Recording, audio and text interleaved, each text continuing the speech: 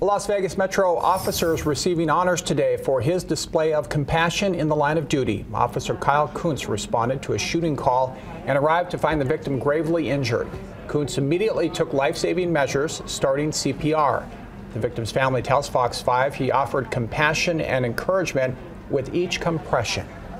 Officer Kuntz was just, he was just kept saying, come on, buddy, come on, you can pull through, come on come on, like, um, then once they had found his ID and they actually ID'd him, he was using his name. Come on, Jacob, come on, stay with me, stay with me, come on, you can do it. And Unfortunately, Jacob did not survive his injuries, but his family says Kuntz was there for him as he took his final breaths.